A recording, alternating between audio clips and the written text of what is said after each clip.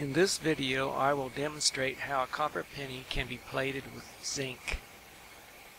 The two ingredients you will need are zinc sulfate and a strip of zinc metal. If you don't have zinc sulfate you can easily make some using zinc metal and sulfuric acid. Here is a page from my chemistry notebook that may be of help if you're going to try and make your own zinc sulfate.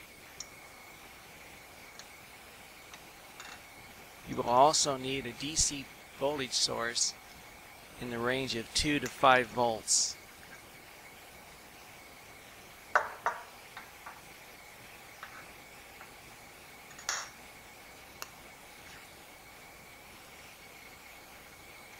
I dissolve a little bit of the zinc sulfate with some distilled water.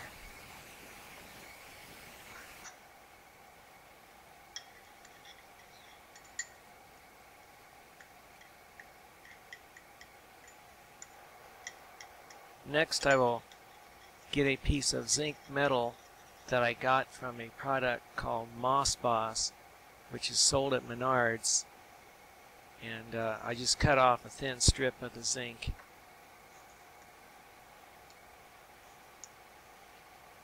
I'm bending it into a shape that I can set down into the dish and clip my clip the positive lead from the voltage source onto the zinc. The negative lead from the voltage source will be clipped to a separate wire that I will then touch to the penny.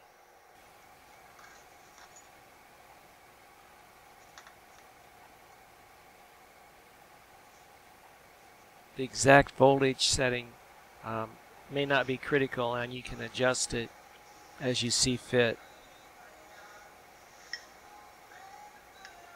So place the copper penny into the solution and then set the set the wire onto the penny.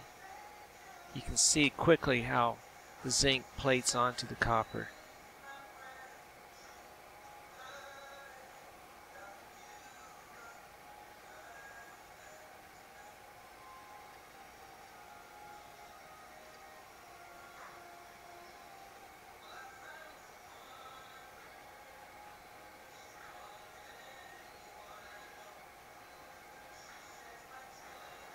Now I'm going to turn over the penny so I can plate the bottom side.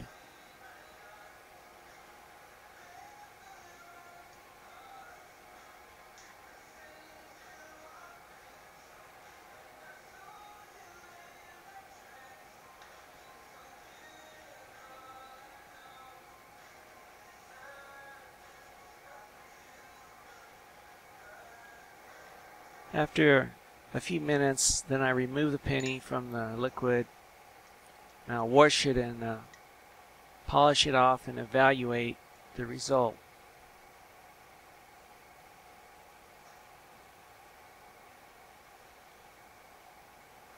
So upon examination I notice that the plating is a little thin in a few spots so I'm going to put it back in and let it go a little bit longer.